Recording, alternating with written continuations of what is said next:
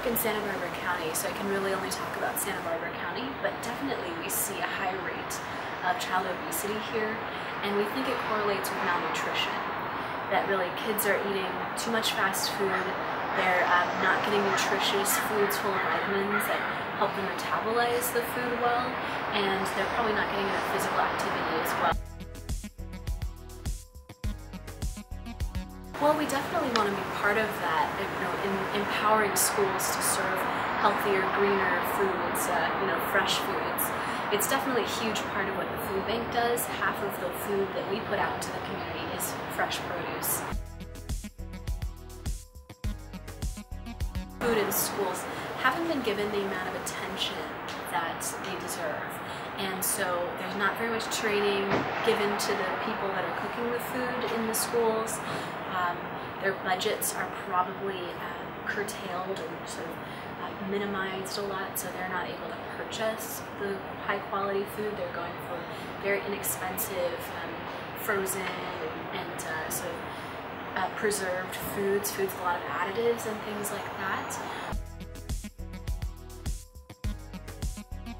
But I think families face that sort of that crunch on their time and maybe the unfamiliarity with fresh produce.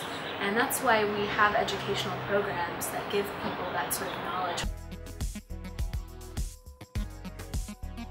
It can be cost effective to eat healthy. It's just being able to find the things that are in season and knowing how to prepare them in a way that's healthy and low cost and you know, cooking in batches and being able to sort of spread out over time with freezing and preserving things in other ways.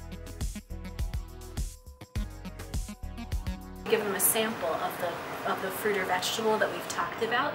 And so they get to try it themselves and they can make a positive association with that fruit or that vegetable. And then we give them information that they can take home to their parents so they know how to cook with it or that their child likes it. And they introduce it in sort of a low stress way. That's uh, exciting and interesting.